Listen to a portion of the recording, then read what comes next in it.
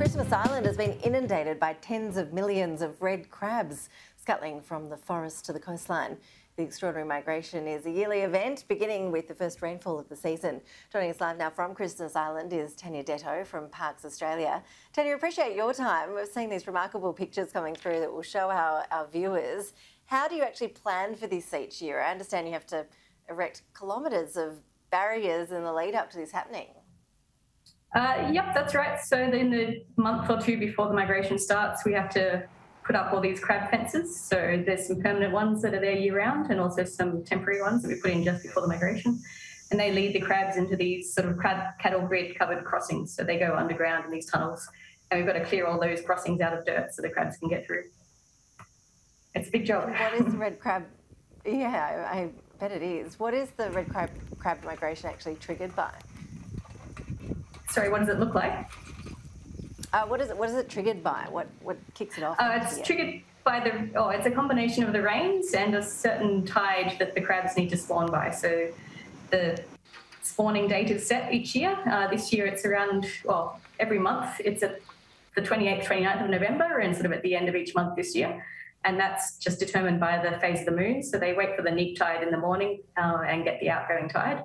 And then two weeks before that date, they need to get to the coast and mate so that they're ready to incubate their eggs for two weeks. So they basically need it to rain in time for them to get down to the coast by that mating date. So it's all it's all set up, and I, we don't know how the crabs know when to go, but they they just somehow know. The mystery of nature. I read that each female crab releases up to I think it's 100,000 eggs into the Indian Ocean. How many of those actually yep. become baby crabs and then where do they go? Where do they end up? Oh, that's a bit of a mystery as well. So, yeah, the big females will release about 100,000 eggs. The smaller ones are a bit less. Um, once they hit the water, they actually hatch on contact with the water. So, as soon as they hit the water, they turn into these little larvae. And as far as we know, they sort of head out to sort of the drop off and hang out in the um, just around the island in a good year. Uh, in a bad year, they might get caught up in the currents and get swept away, and then there's very little chance that they'll actually get back to Christmas Island. So if it's a good year and they stay around the island, they'll come back after three or four weeks as little tiny, tiny megalops, which look like little baby crabs, and they'll come out of the water and back into the land and head up into the forest to join their parents. I know in previous years tourists have come from all over the world to see this phenomenon. It must feel feel pretty quiet on the island this year with the strict travel restrictions still in place. But do locals still get a kick out of it?